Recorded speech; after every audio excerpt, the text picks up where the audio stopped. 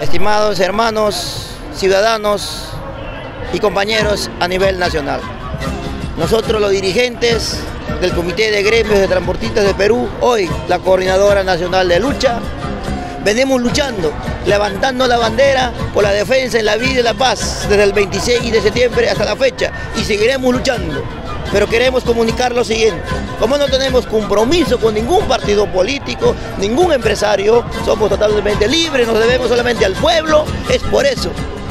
Apelamos a la solidaridad del pueblo peruano en general, que nos apoyen en esta cruzada del sol para poder siguiendo financiando este trabajo y cumplir el objetivo hasta el 23 de octubre. Por lo tanto, estaremos dando los números de YAPE y números de cuenta para que ustedes a nivel nacional nos apoyen en esta cruzada del sol.